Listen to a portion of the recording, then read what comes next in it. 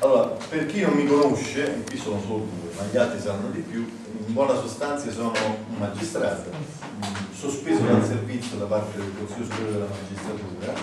a seguito di una vicenda estremamente complessa nella quale casualmente e poi sistematicamente e adesso allargando l'analisi ha messo le mani su una vicenda da niente come la presenza di sette esoteriche di stampo anche satanista nel mondo massonico militare ha pesato, valutato, argomentato e ricostruito coperture eccellenti e deviate,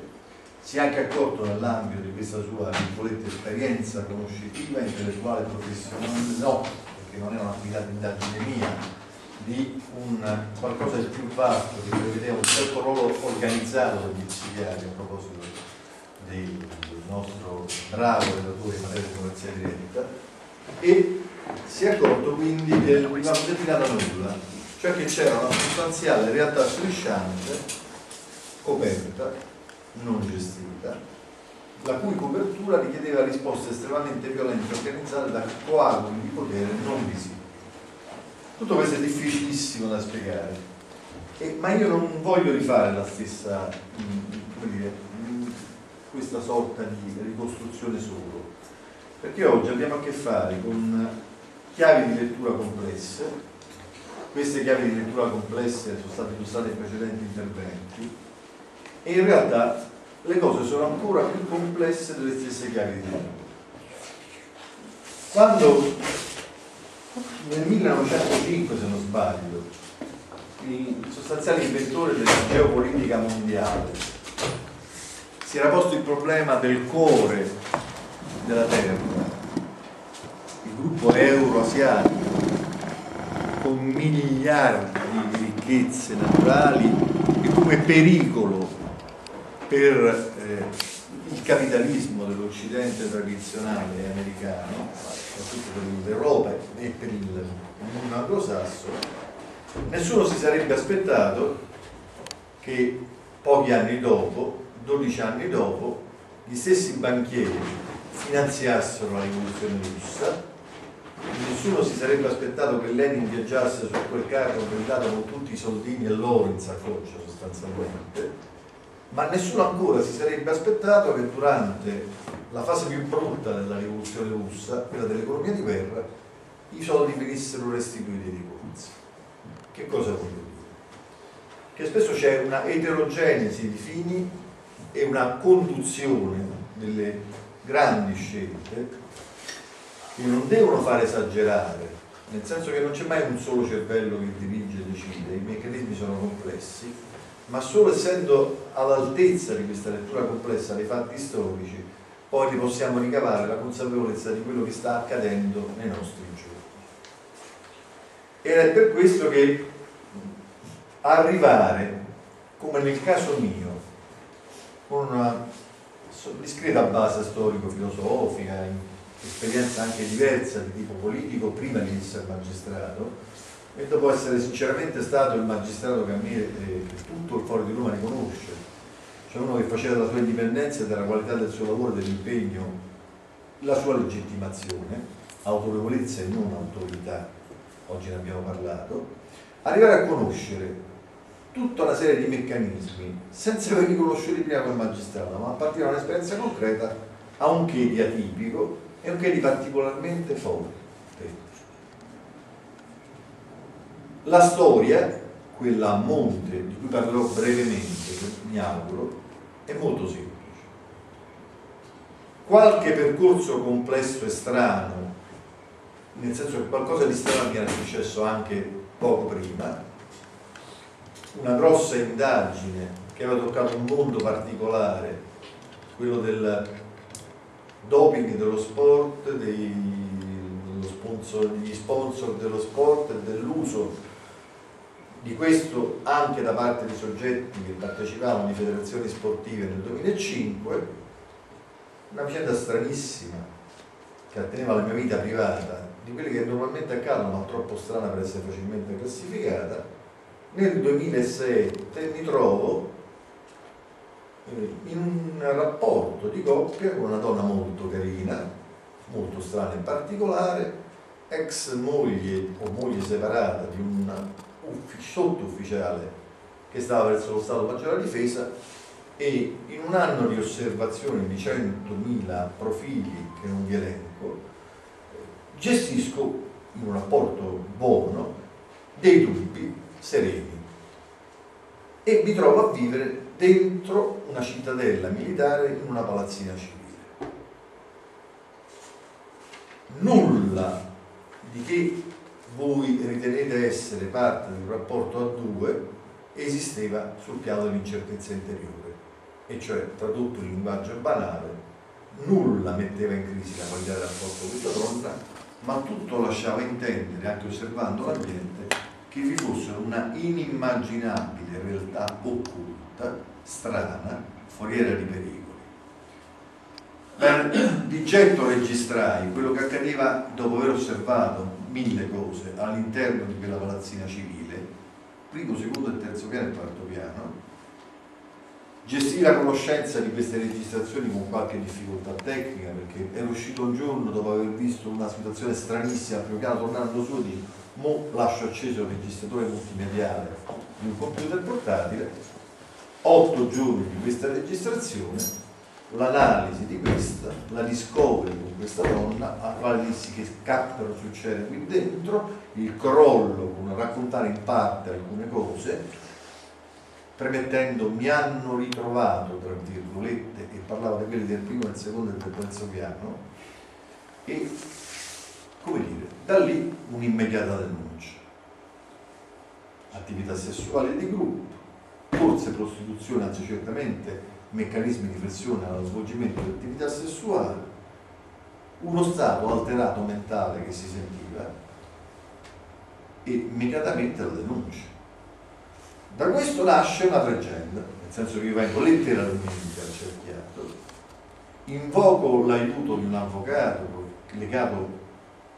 all'apparato, sostanzialmente al magistrato, molto indipendente, nessuno mi aveva detto nulla, lo prendo, lo conoscevo, anche lui era di quell'esperienza politica. E gli dico, trovami uno psichiatra, una psicologa per aiutare questa donna e gestiamoci anche l'analisi di questi perché non mi ero trovato di fronte a quel guazzabuglio alquanto terrorizzante, non per me, ma insomma particolare. Insomma, la storia è andata che questo psichiatra, mentre io venivo girato in qualche modo da un paio di colleghi in particolare e anche procuratore capo che oggi è diventato sottosegretario al Ministero dell'Interno, e mi ritrovai a gestire una situazione inimmaginabile. Nel corso di questa gestione l'analisi di quell'audio progrediva e nel progresso io arrivavo sostanzialmente a queste 3-4 coordinate frutto del metodo di analisi concreto che è frutto anche del mio lavoro senza parametri culturali. Se dovessi dirvi che del Bilderberg avevo sentito solo il suono musicale direi già troppo per darvi un'idea di quello che succedeva. L'analisi portava semplicissimamente a ritenere la donna scissa mentalmente. Ci stanno gli sms mandati a questo psichiatra corrotto che mi incastrò dicendo qui si parla di DSM 4 e di, di, almeno di sindrome della doppia personalità se non 3 o 4 e a fronte di questi due, tre o quattro, tre almeno personalità principali c'era questo gruppo di persone che entrava, uomini e donne, ragionevolmente militari, c'erano attività e tecniche che io suddivisi in tre classi condizionamento mentale attraverso tecniche musicaleggianti e frasi medievaleggianti, badate che è una costruzione empirica. Questo perché attraverso le registrazioni? Ma attraverso l'analisi dell'audio e la sua classificazione attraverso una griglia. Ma puoi specificare dove erano? Un bel, tu stavi dentro casa. Tua? Dentro casa dove abitavo io quando uscivo. E infatti c'è tutto un ragionamento rispetto a questa vicenda più complessa. Tecniche di condizionamento mentale a struttura di tipo apparentemente ipnotica, con ricorso a un canto e una vocalizzazione sonora della donna intermezzata da comandi. C'è un libro. Il tutto, grazie, il tutto avveniva spesso con tecniche sussurrate e modulate vocalmente e poi comandi sintetico-vocali a cui corrispondeva addirittura un'attivazione del soggetto in quanto pronunciati da militari, a me sembravano di impronta militare. Non vi sto a raccontare tutta la storia, non vi sto a raccontare che arrivai a estrarre questi atti, a classificarli, a registrarli, che il, il tutto fu affossato e distrutto, non fu fatta nessuna indagine, che a un certo punto bruciarono uno sdraio, che poi fecero un sequestro di persone nei miei confronti organizzato da quello psichiatra a Monte, che era un luminare di, di apparato già comunista. Ma quello che vi devo raccontare è che di tutta questa storia, che vedrà poi attacchi tramite il mio subito lavoro professionale, all'improvviso ero diventato da uno dei migliori magistrati d'Italia, un magistrato strano in crisi per una crisi di un rapporto di coppia che non c'era, perché quella donna la sopportava nascostamente andando a salvare anche il figlio. Non vi sto a dire che piano piano più analizzavo e più uscivano bambini in quella realtà. Non vi sto a dire altre cose, ma certo tutta questa vicenda aveva un colore di casta professionale e addirittura apparentemente politico. E questo ve lo dico chiaro e tondo. Perché non solo c'erano tre magistrati deviati che avevano organizzato ciò che si vede a bloccare Paolo Ferraro e che coprivano patentemente questa vicenda, non solo si parlava di militari, alti ufficiali nel cuore della cittadella, non solo si parlava di un paio, poi tre o quattro psichiatri che si erano mossi per contrastare questa vicenda, ma si parlava di gente che diffondeva incredibilmente sul Laurentino il quindicinale lotta comunista. Lotta comunista è un vecchio eh, attrezzo del passato ma era un gruppuscolo che io non sapevo manco ancora esistesse, io ricordavo negli anni 70, che sostanzialmente terrorizzava l'esercito del popolo. E questo non darebbe ancora a questa vicenda, perché se una setta esoterico-satanica, poi vi dirò anche perché satanica, fa queste cose, la fanno i militari, forse è un'attività di copertura. Ma anche i magistrati, vi parlo e parlerò, e addirittura l'interfaccia di uno di questi, che era un magistrato ancora oggi, di responsabilità nazionale, appartenevano a magistratura democratica. Non è che inizia per C questo? Eh? Non è che inizia per C il cognome di questo? Ovviamente sì. E ha rivendicato quello che mi è stato fatto, ha detto che era stato fatto sulla sua responsabilità e si è fregato definitivamente perché se mai avessi avuto un dubbio che era una questione di apparato ed era controllata da questi 5 o 6 soggetti che sapevano queste storie, lì mi stavo tolto definitivamente. E sì, perché dentro questa storia, per me che ancora in qualche modo elasticamente credevo alle categorie della politica, al concetto di sinistra e destra, dopo averlo destrutturato in bacheca, aver, capito, aver spiegato cinque anni prima che ciò che faceva l'uno e ciò che faceva l'altro erano troppo simili perché avesse ancora un fondamento questa vecchia distinzione che teneva gli scranni nel Parlamento Sabaudo, orientandomi in questa vicenda e sapendo che questi magistrati di apparato, dal primo al secondo in particolare, avevano sempre rivendicato la loro contiguità e completa condivisione del metodo politico con D'Alema, attuale presidente capo del COPASI, uno strumento che ha una sua storia particolare, e, e lui riuscì a capire questa cosa in quel contesto con un attacco che era passato anche utilizzando un paio di parenti che avevano problematiche loro e riuscire a capire come tentassero di costruire l'opposto da me anche questa povera donna la quale a un certo punto si era richiusa nel, non è vero nulla sei tu che sei strano eccetera eccetera. Ma poi aveva scritto stai attento la verità ti porta al Santa Maria della verità io l'ho capito solo dopo lo schema che seguiva. E aver poi ottenuto anche da questa donna sostanzialmente uno sbandato dichiarazione scritta di consapevolezza della follia di quello che è accaduto e delle sue paure con 250.000 indizi a monte del suo stato mentale bene in tutto questo guazzabuglio lo sforzo più grande non è stato capire come avessero utilizzato strumentalizzato alcuni parenti ma è stato capire come si potesse leggere una vicenda del genere dove c'era uno psichiatra d'apparato che era lo stesso Luigi Cancrini, tentava di dimostrare le patologie mentali di Berlusconi, dove c'erano magistrati che erano storici, magistratura democratica, e io ero uno di quelli che si era sempre battuto contro questi magistrati, badate bene, del perché fino allora parlavo di deviazioni dell'organizzazione, delle prassi occulte strane di potere nel CSM, ma a un certo punto mi sembrava che l'occulto crescesse vorticosamente. E mettere tutta questa cosa insieme ha richiesto, mentre mi difendevo, mi hanno fatto per sei mesi quello che avrebbe distrutto chiunque, è stato complesso. In questa eh,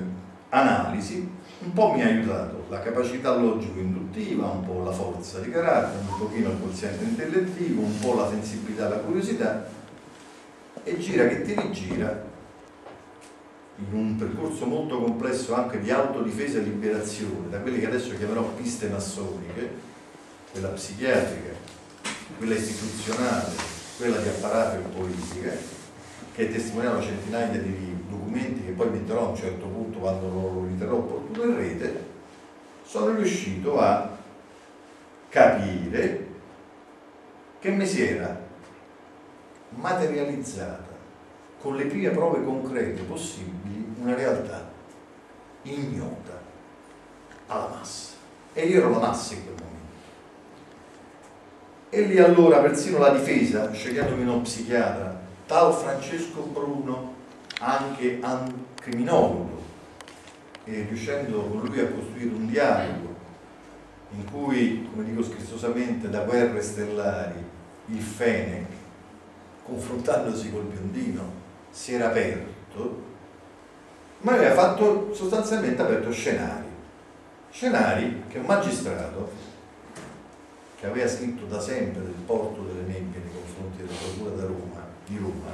e che conosceva il ritroterra dello scontro tra Falcone e Borsellino gli apparati istituzionali della magistratura, aveva sempre letto, ma in quella chiave politica che oggi anche tu hai utilizzato, che io tranquillamente ritengo oggi superficiale. Non che non sapessi che Calcara aveva detto delle cose particolari a Borsellino, non che non intuissi o sapessi, avessi anche detto addirittura che era stato Borsellino ucciso dallo Stato e la mafia era stato solo lo strumento ma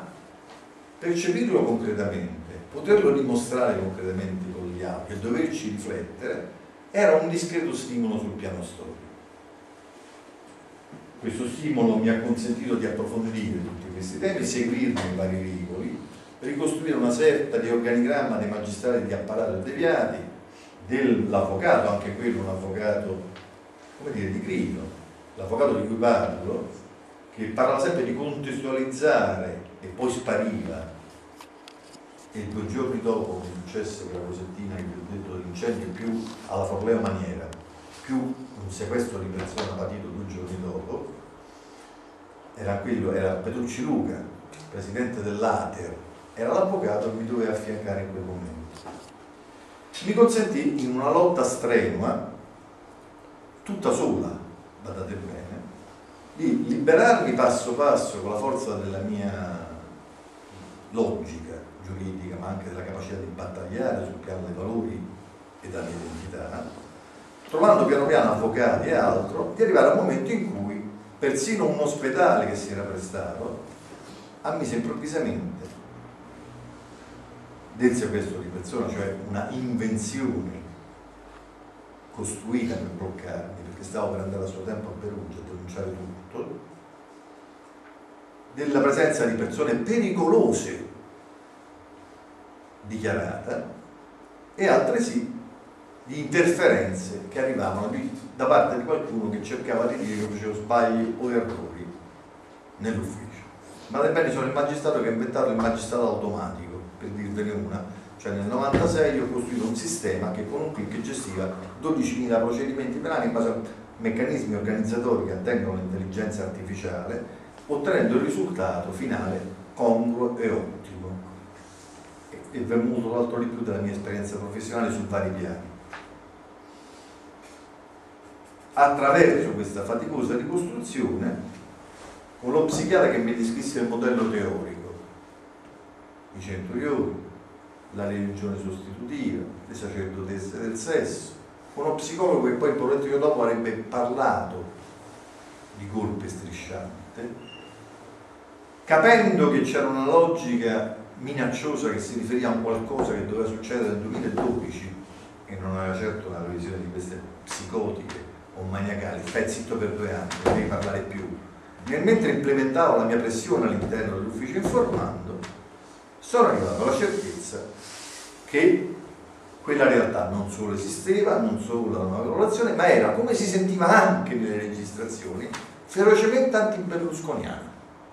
Perché tra un'attività sessuale, una violenza, una tecnica di condizionamento dalla psicologia, c'erano chiacchierate ferocemente anti-berlusconiane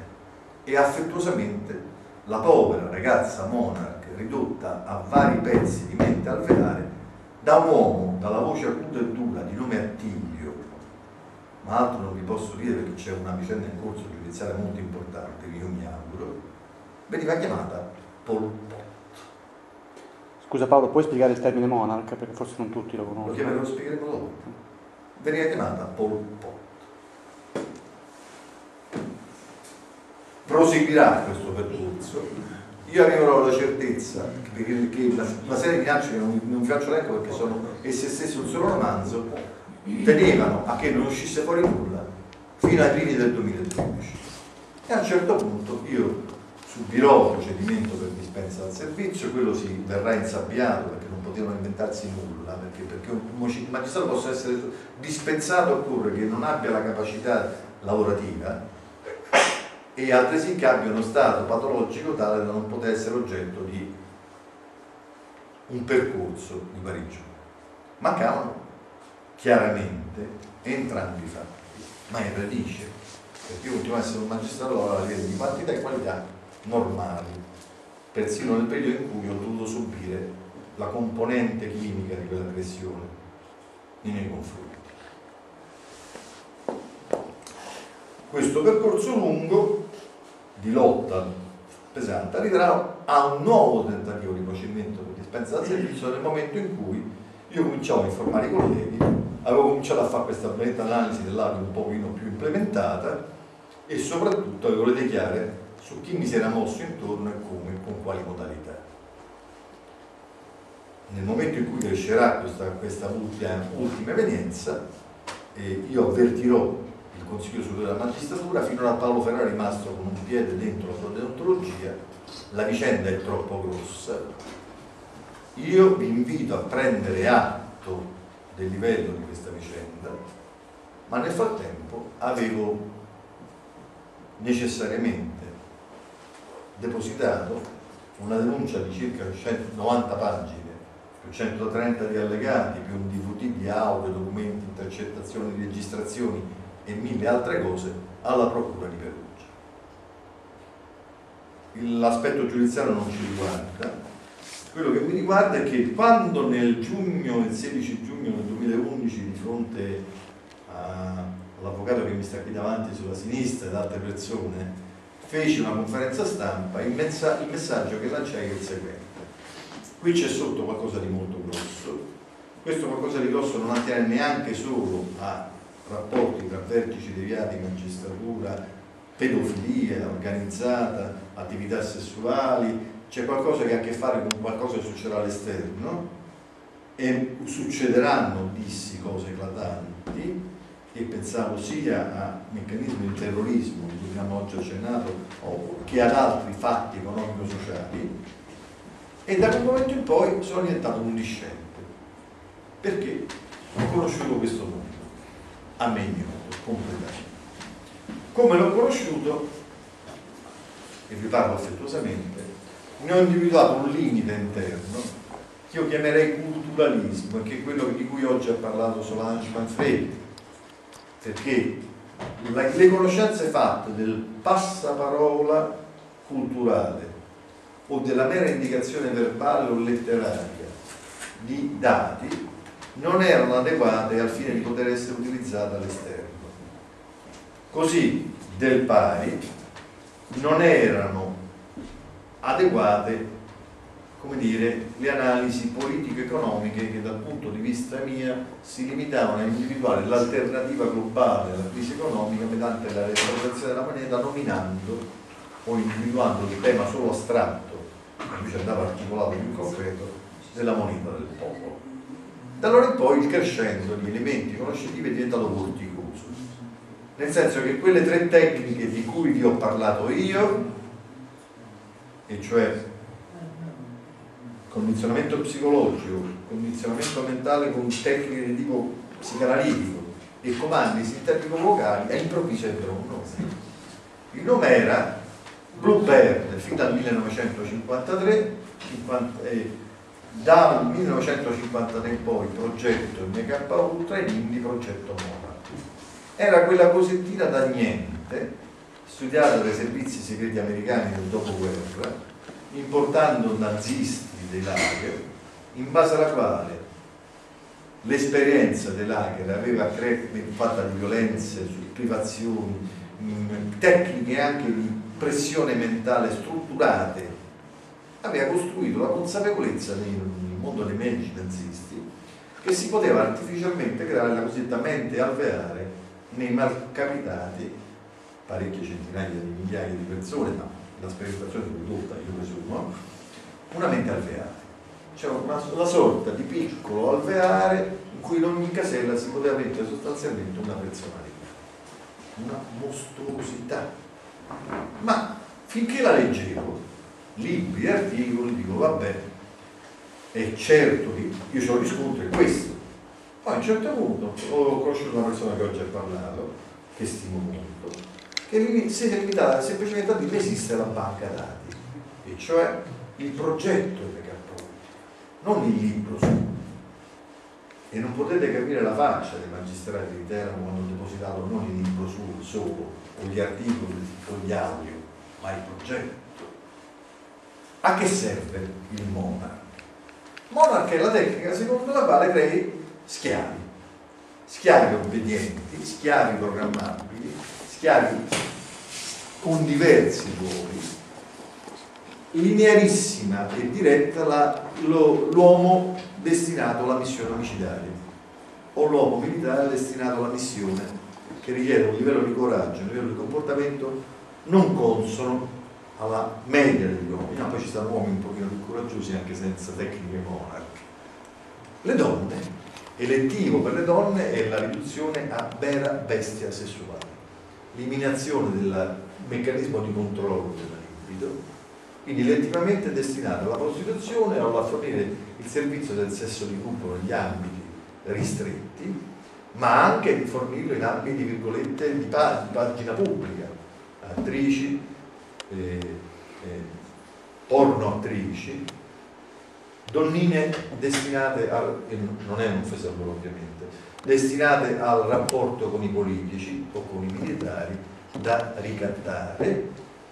E queste donne avevano anche altre attività elettive, tipicamente collegate al traffico di droga, l'ordine è quello che è da prendere e portare, e poi, guardate caso, alla pedofilia e alla pedopornografia. Questa mostruosità l'avevo registrata